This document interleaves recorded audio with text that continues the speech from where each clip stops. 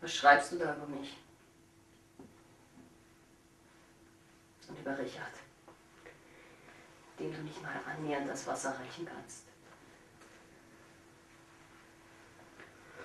Und Klaus und Paula, dass ich ohne sie glücklicher wäre. Warum hast du das getan? Weil ich nicht dabei war, als du deine tote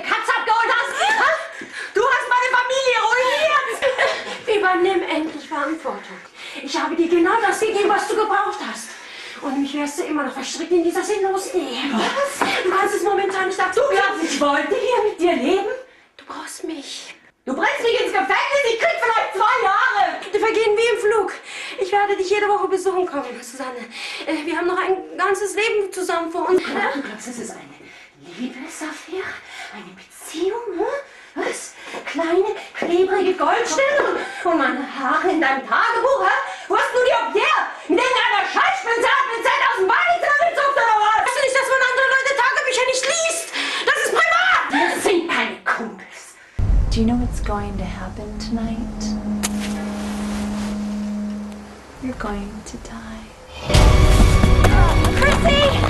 He's got a gun. This freak knows everything about your sister's disappearance, and I'm gonna get to the bottom of it.